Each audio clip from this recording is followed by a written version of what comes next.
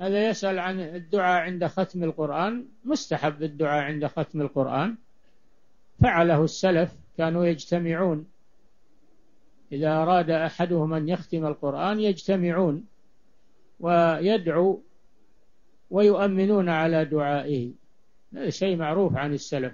وحتى في الصلاة ورد كما ذكر الإمام أحمد أنه أدرك أهل الحجاز وأهل كذا أنهم يدعون للختم في الصلاة وأنه عمل معروف عند المسلمين. نعم.